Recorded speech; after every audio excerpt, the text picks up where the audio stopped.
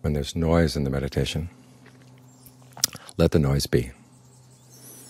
It hasn't destroyed your breath. The breath is still there. You can follow it coming in, going out. When they talk about the word anupassana in Pali, it means following and seeing, literally. In other words, you keep track of something. You follow it through like a following a thread through a piece of piece of cloth. There are other threads going in different directions, but you're going to follow that one particular thread. So in this case, you're following the thread of the breath. As for the sounds, those are other other threads going in different directions, but those aren't the ones you want. If you wanted to wait until there was absolutely quiet outside with no noise at all, you'd have to go into a soundproof chamber. There are noises in the world.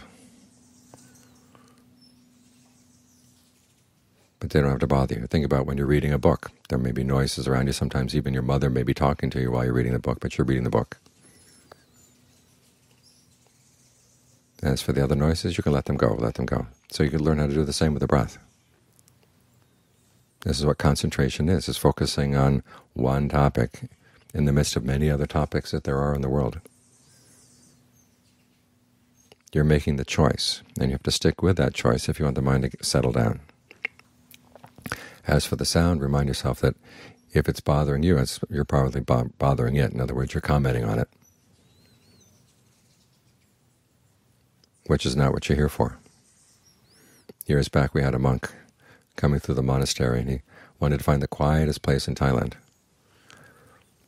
He went up to the top of the hill, and there was nothing at all except for way off in the distance there was a little water pump. Too much noise for him. He had to go someplace else.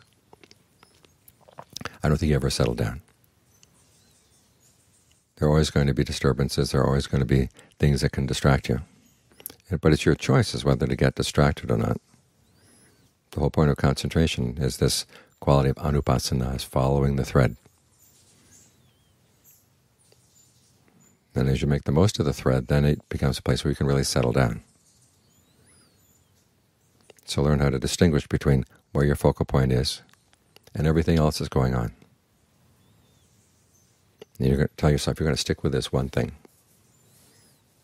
The Thai term for concentration is firm intention, and it's your intention that makes the concentration. Not finding that everything is just beautiful and wonderful and you're just going to settle into all the wonderful things right here. Sometimes you have to consciously ignore things that really are disturbing. But you've got to get the mind to settle down, because that's going to be your strength. So the breath is always here, coming in, going out. Try to make sure you're always here with it. And keep following it through time.